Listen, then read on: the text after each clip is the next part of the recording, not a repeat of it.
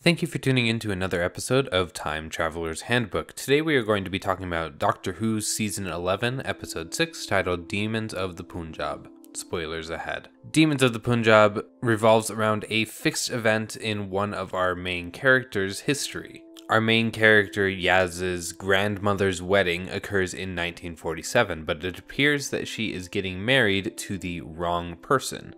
There are several points of interest to talk about with this episode, and let's start by talking about interacting with family members in the past. This is not a new subject to Doctor Who. We've seen it before in episodes like Father's Day, and you know what happened there.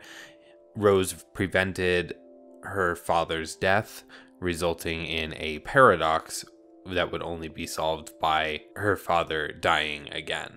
So we know that ultimately interacting with family members in the past is a tricky business because you could affect things so that you were never born and thus that's where the paradox lies. You could also cause an event to happen that was not a fixed event, or you could stop a fixed event from happening, which of course has consequences such as removing you from the universe that you're currently in. Ultimately, though, there's only one thing that you really have to worry about, and that's getting in contact with a previous version of yourself. So if you're going back to your grandmother before you're even born, then you are most likely safe from a serious paradox and most of the time this is going to be fixable. So, in most cases, if you're not alive yet, as long as you don't give away too much information about yourself and what happens in the future, the lives of your family members visited by future members of your family go relatively unchanged.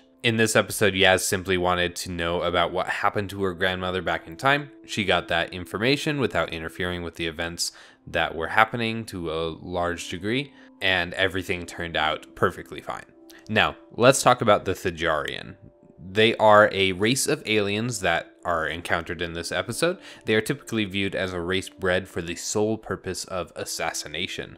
However, their home planet was destroyed while they were out hunting, leaving them an endangered species.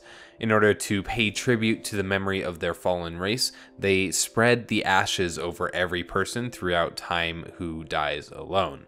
They no longer kill, they just observe and pay tribute.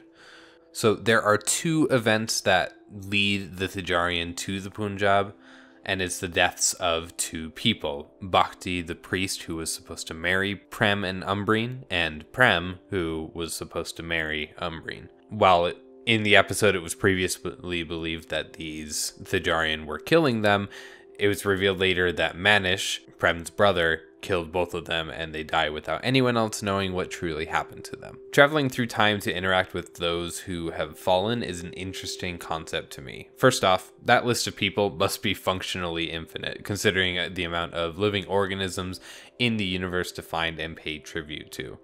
Even with the ability to time travel to their deaths, it must be a tremendous task to undertake.